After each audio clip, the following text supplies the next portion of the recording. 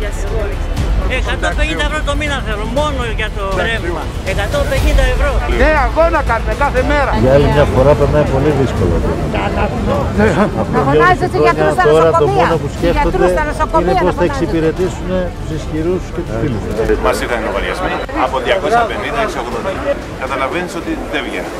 7 μήνες τώρα φωνάζουμε, καταγγέλουμε ότι υπάρχει εσχροκέρδεια και καρτέλ στην ενέργεια. Ο κ. Μητσοτάκης λέει ψέματα, δείχνει ανοχή στα καρτέλ και μας λέει λαϊκιστές. Πριν από ένα μήνα στη Βουλή του ζήτησα να παρέμβει.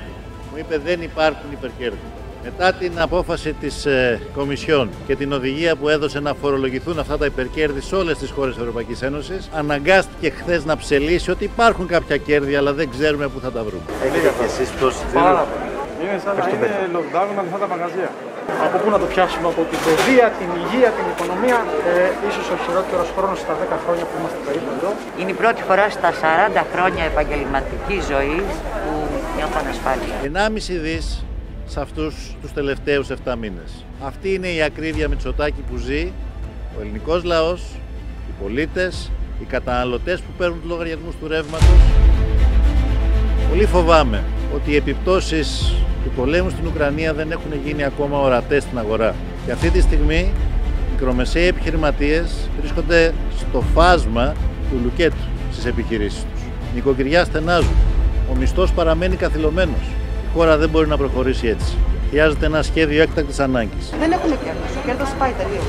Απλά επιβιώνουμε, συντηρούμε μια κατάσταση, ένα μαγαζί μόνο και μόνο για να πούμε ότι δουλεύουμε. Γιατί έχουμε μια δουλειά. Λοιπόν, όλα κρυβαίνουν και πληρώνουν, πληρώνουν, πληρώνουν και δεν είναι τίποτα.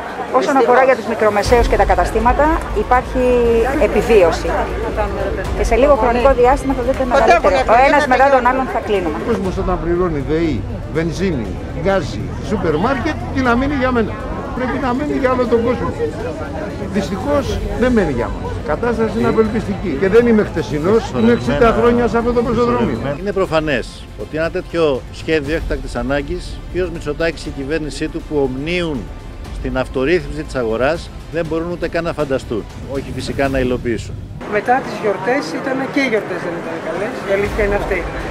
Αλλά από Ιανουάριο και όλους αυτούς τους μήνες που διανύουν είναι δραματικό. Δεν φτάνει ούτε για τις 20 του μήνα. Εκεί. Από εκεί και έπειτα, ναι. Δυστυχώς τα πράγματα δεν είναι καλά. Άρα λοιπόν μόνο μια κυβέρνηση προοδευτική, με κοινωνικό πρόσημο, που έχει σαν στόχο και σχέδιο τη στήριξη της κοινωνίας με ισχυρή παρέμβαση του κράτους στην αγορά, μπορεί να αντιμετωπίσει αυτή τη δύσκολη κατάσταση. Δεν είναι αναγκαίο μονάχα να μειωθεί ο ειδικός φόρος κατανάλωσης στα καύσιμα, ο φόρος προστιθέμενης αξίας στα τρόφιμα, να αυξηθεί ο κατώτατος μισθός στα 800 ευρώ, αλλά πρέπει να μπει τώρα πλαφόν στην χοντρική τιμή πώλησης στην ενέργεια, στη λιανική τιμή στον καταναλωτή και να φορολογηθούν τα υπερκέρδη. Να στηριχθεί η κοινωνία για να μπορέσουμε να έχουμε προοπτική ως χώρα και ως λαός.